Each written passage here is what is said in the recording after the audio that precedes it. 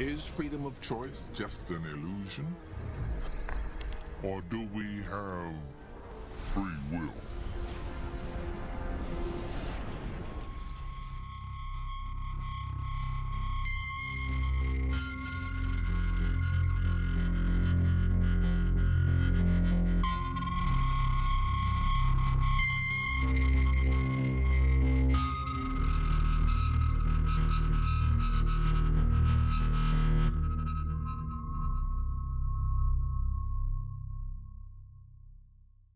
Libertarianism is widely rejected today by most philosophers as untenable. It is the view that human free will and determinism are incompatible, that human beings have free will, and so determinism is false. Libertarianism concerning human freedom comes in two main types event causal libertarianism and agent causal libertarianism. Event causal libertarians exhibit one major metaphysical feature that I'll be focusing on, while agent causal libertarianism exhibits two major features, one of which is shared with event causal libertarianism. I'll explain what these features are as I look at each type. However, a significant problem with each type is that they're unintelligible. One of the types of libertarianism is even more unintelligible than the other, as I'll show. The unintelligibility can be best seen initially against the backdrop of the principle of sufficient reason, or PSR, which states that every fact has an explanation, or that there are no brute or inexplicable facts. To begin, then, let's look at the event causal type of libertarianism first. The major feature of event causal libertarianism that I'll focus on is its affirmation of the principle of alternative possibilities. The main idea is that when an agent freely chooses to act, the choice is up to the agent, and so the agent could have freely chosen otherwise than they in fact did. More specifically, the principle of alternative possibilities is manifest when the event causal libertarian says that an agent who freely chooses A at some time t could just as well have freely chosen B at time t instead. If, for instance, we rewound time and played out the same preceding events that led up to the choice at time t. The problem, however, is that this is unintelligible, problems aside about whether the agent can even be responsible for her choices. It's unintelligible because it's inexplicable why the agent chose A at time t rather than B at time t. That is, there's no reason for A's being chosen instead of B at time t. The postulate of multiple open possibilities in which choice A is actualized by the agent is unintelligible because there's no reason whatsoever why choice A is the case over choice B. That the agent chose A rather than B is a fact that is inexplicable. Thus, on event causal libertarianism, the agent's choice of A and not B is a brute fact. And we know that the PSR states that there are no brute facts. The PSR states that everything is intelligible and has an explanation. Hence, event causal libertarianism is unintelligible. Agent causal libertarianism is even more unintelligible than event causal libertarianism. This is because, firstly, the agent causal type shares the major feature of affirming the principle of alternative possibilities, just as the event causal type does, which we saw was unintelligible. But secondly, there's a further additional condition on freedom that is unintelligible regarding agent causal libertarianism. So we might even say that agent causal libertarianism is doubly unintelligible, as we'll see. This further additional condition is this. Agent causal libertarianism affirms that a free agent is the ultimate source and cause of their choices and actions, that the agent is the terminus of the causal chain of all their free choices and actions, and one begins a new causal chain when one freely acts.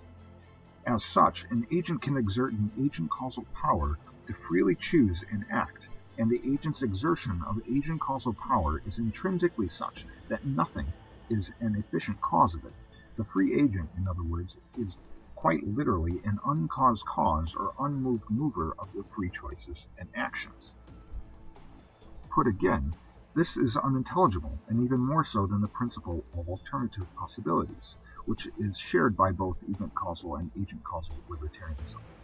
To see why this further condition of agent causal libertarianism is unintelligible, which posits that an agent is an uncaused cause, it should first be noted that the free agent is a contingent being, and that every relevant fact about the agent is contingent. And contingent facts, by PSR, are intrinsically such that they must be explained by external causes, otherwise such facts would be inexplicable or brute. Yet the agent causal libertarian posits facts about agent causal powers of agents that are strictly uncaused, as I've just outlined.